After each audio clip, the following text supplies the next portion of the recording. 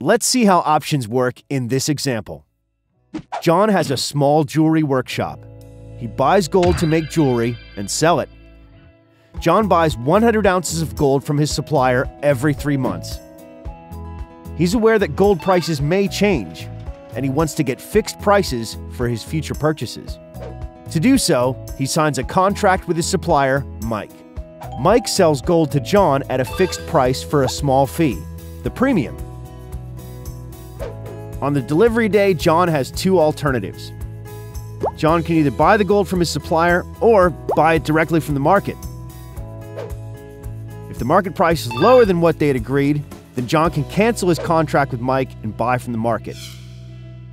So Mike only receives his premium. If the market is higher than what they agreed, John will buy from his supplier Mike at the pre agreed price, which is lower than the current market price. That's the principle behind options. Here's an example of how John trades gold with the easy-forex platform. John trades gold online with easy-forex. Gold options allow him to minimize his risk by guaranteeing a fixed price at the future date he chooses. If John believes gold prices are going to rise, he will choose to buy an option on gold. He selects the price at which he believes that gold will rise above, the date up to which he wants the option to last, and the amount of gold he wants to buy.